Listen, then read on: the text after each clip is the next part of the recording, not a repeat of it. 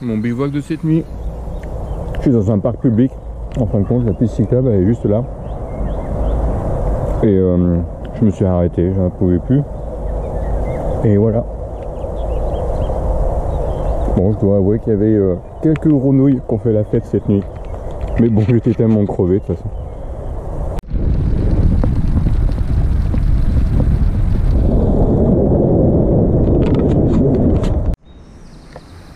Je sur du tapis blanc. C'est impressionnant.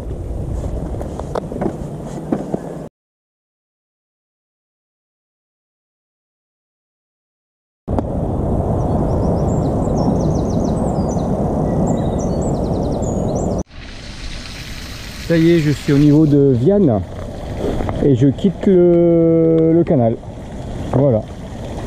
Terminé pour reprendre direction euh, Biganos.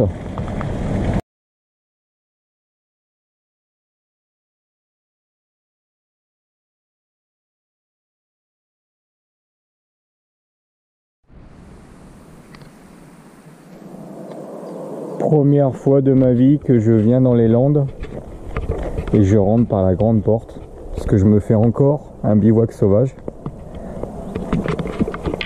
Aujourd'hui ça s'est vraiment bien passé.